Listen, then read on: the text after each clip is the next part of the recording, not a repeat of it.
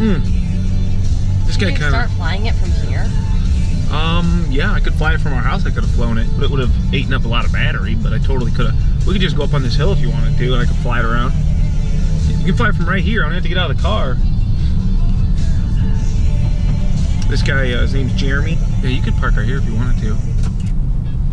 Anyway, he's got he's got the two little twins and stuff, you know. No, I don't know. I've showed you pictures. He's got the No, two you little, haven't. Yeah, yeah. He's got Okay. two little twins.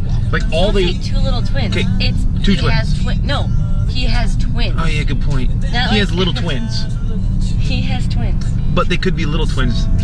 Anyway, he has a set of fucking twins.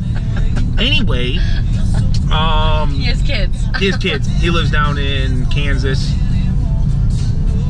and uh, he's in my group too. But he just he's like, dude, we're gonna. We always talk, you know. He's like a cool guy. I sent him one of my shirts, and you know, he's like, what size? Yeah, I'll send you one of my shirts. But anyway, um, yeah, why don't you stop right here? No, Yeah, I'm gonna just. I don't know. Because I think it would be a good, you know, if we go on the strip and then. Can you fly in between the screen beds? Be really hard with the guide wires, not being able to see them, but we could see. You sure I mean stop here?